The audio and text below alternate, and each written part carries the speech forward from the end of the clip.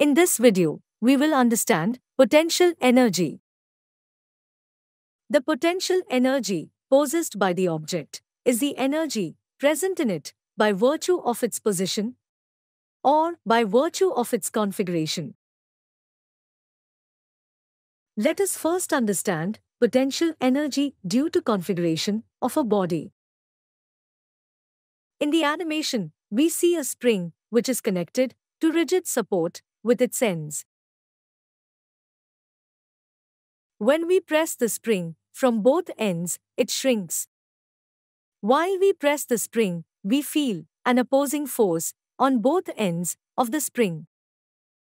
This opposing force tries to regain the original configuration of the spring. When we release the spring, the spring regains its original configuration instantly. Now, hold this spring from the both ends and pull out with some force. We can see the spring gets stretched. Again, we feel an opposing force which tries to regain the original configuration of the spring. As soon as we release the hands, spring regains its original configuration. When we apply force on the spring, either by pressing or pulling its ends, the energy transferred to the spring inside is stored as potential energy. And this potential energy, possessed by the object, is the energy present in it by virtue of its configuration.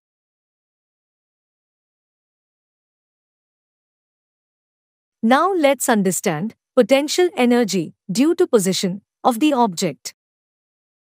Consider an object of mass m. Let it be raised through a height h from the ground. A force is required to do this. The minimum force required to raise the object is equal to the weight of the object, mg. The object gains energy equal to the work done on it. The energy present in such an object is the gravitational potential energy. And this is the energy possessed by the object by virtue of its position.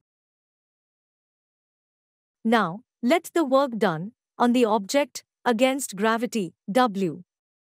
That is, force times displacement. As we know that force is equal to the weight mg and the displacement is height h. Then, work done, W will be mgh. Since work done on the object is equal to mgh, an energy equal to mgh units is gained by the object. This is the potential energy of the object. Thanks for watching. If you like this video, please like and subscribe our channel.